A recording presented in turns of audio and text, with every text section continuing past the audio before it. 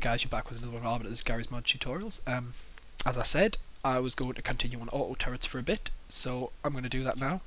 Um, I'm just going to, yeah, I'm going to blitz through and build this as quickly as possible because you already know how to build these, hopefully.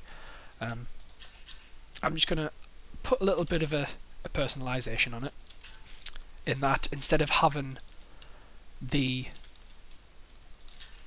the beacon sensor and everything control what's going on, I'm going to have you control it. So it's going to be a manable turret for you. And that should hopefully be some giggles for you. Uh, what I'm going to do is, once that's uh, fixed up, I'm going to put a pod controller on this. And that's going to stand out there. so, as before, we need uh, the thrusters. Now, since they're not going to be coming from a wire gate, we can actually just set them as whatever we like. So I'm going to have this as 300, which hopefully shouldn't be too fast. Um, and I'm going to have the same hydraulic at the front.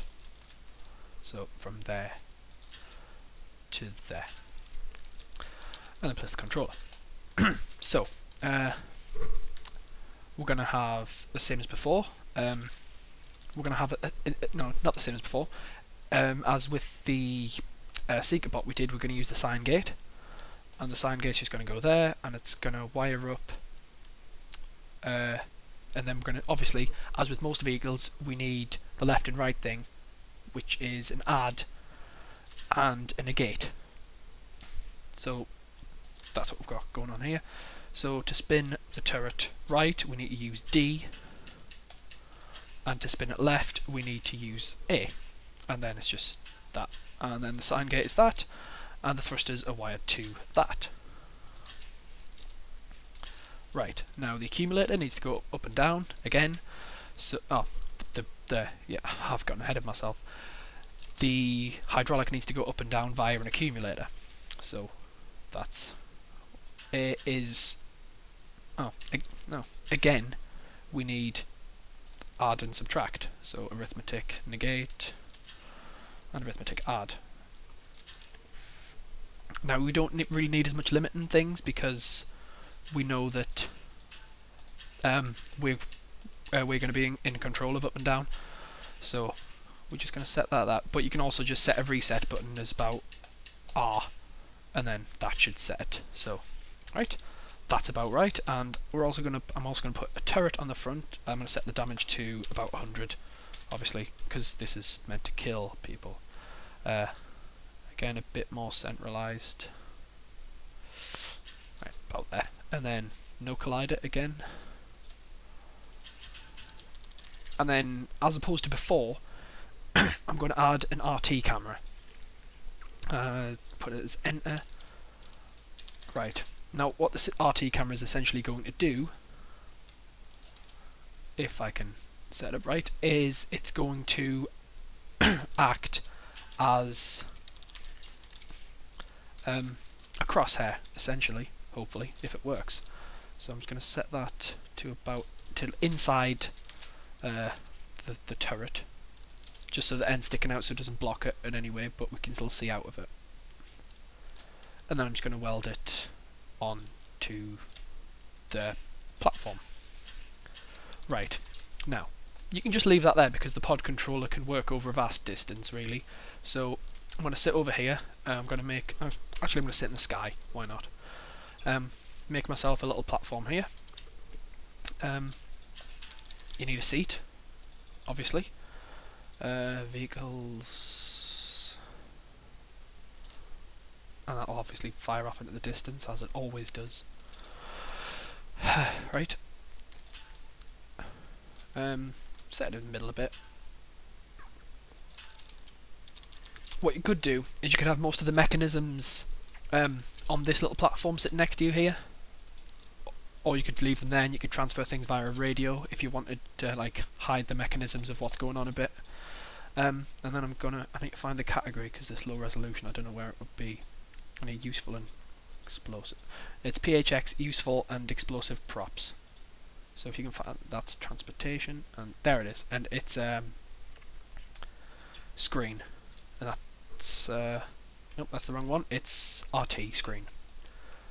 And you can see, it, it, you can't really see anything, but you can see that to there. Ooh, oh, bloody hell. There, you can see that it's essentially just showing what's going on on uh, through the RT camera. So, I'm going to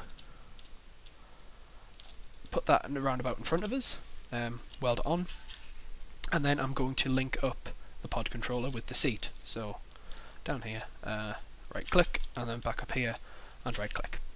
Now, on top of this, I'm going to also make a kind of crappy crosshair what I can. So I'm going to stick this in front of the turret, hopefully.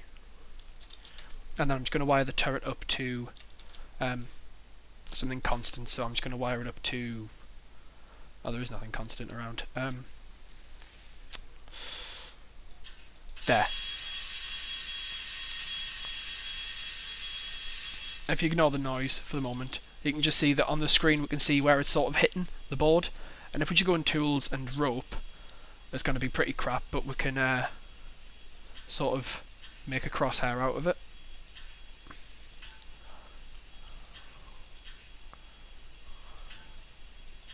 Right. And then all you need to do is uh, unwire the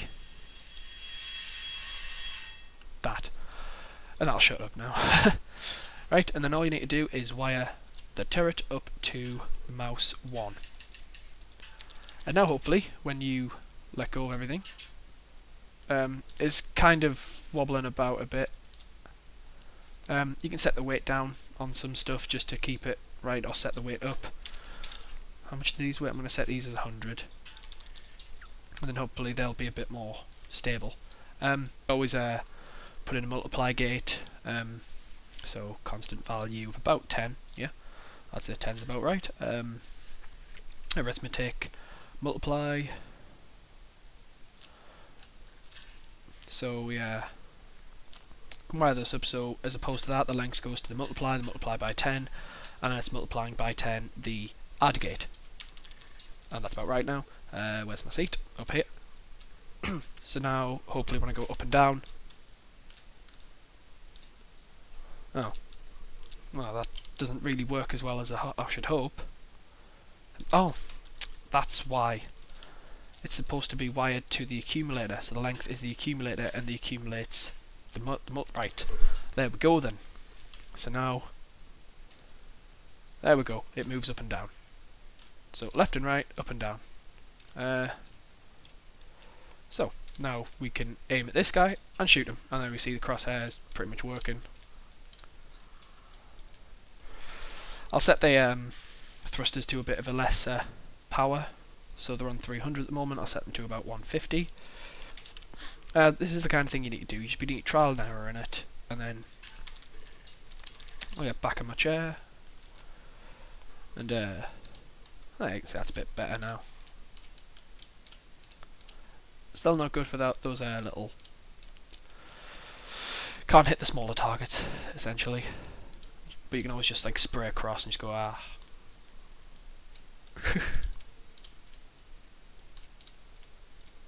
there we go. And I could even aim myself if I wanted, so I could just...